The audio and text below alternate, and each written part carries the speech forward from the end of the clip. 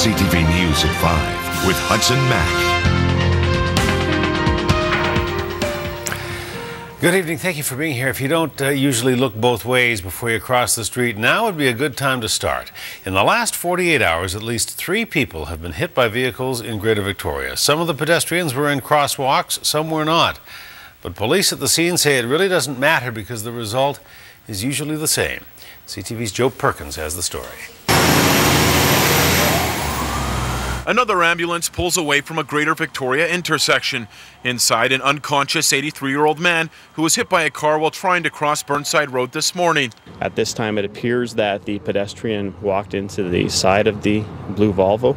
Less than 100 meters from the collision is a crosswalk that police say the man should have used. But recently, the marked walkways haven't been much help.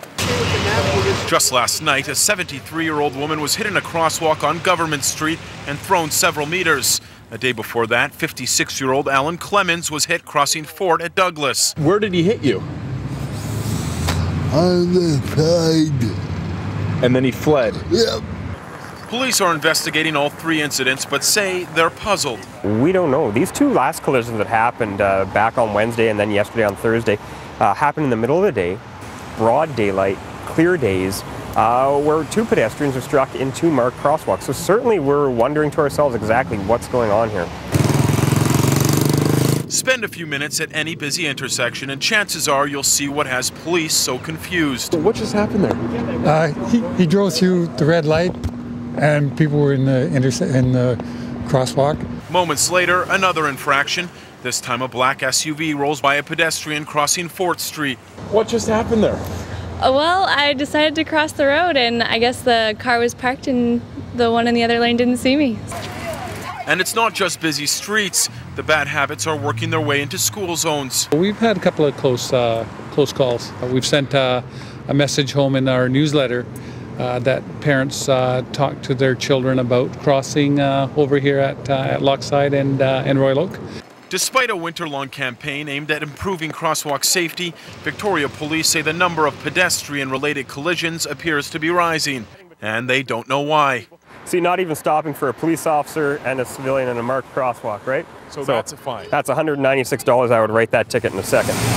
And while pedestrians are quick to point fingers, People don't know how to drive anymore. police say drivers and pedestrians need to work together. When it comes to safety, it's a two way street. CTV's Joe Perkins joins us now live with more. Joe, uh, police are going to be keeping a close eye on crosswalks for the next while. And as we saw in your report, there are hefty fines uh, for drivers and for pedestrians.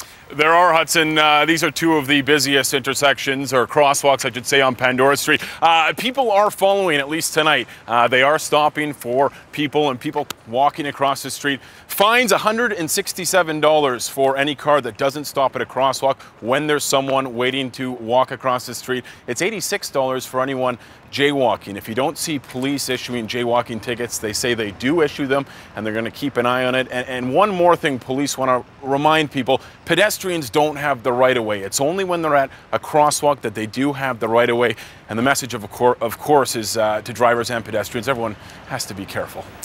Well, you know, where you are, Joe, uh, right outside our studios uh, on Pandora Avenue, is one of those double crosswalk situations on Broad. There's Right. another one down at the other end of the street, and you got to be especially careful, especially if you've stopped uh, or you're in the second one Yeah. and the drivers don't see you. Well, you see, uh, cars are stopping, especially this time of the night. Uh, these are busy, busy crosswalks. But we've been out here for about 20 minutes, Hudson, and I haven't seen any incidents. They're stopping for pedestrians. Cyclists are stopping as well. That's another one. Cyclists are just like vehicles, they need to stop as well.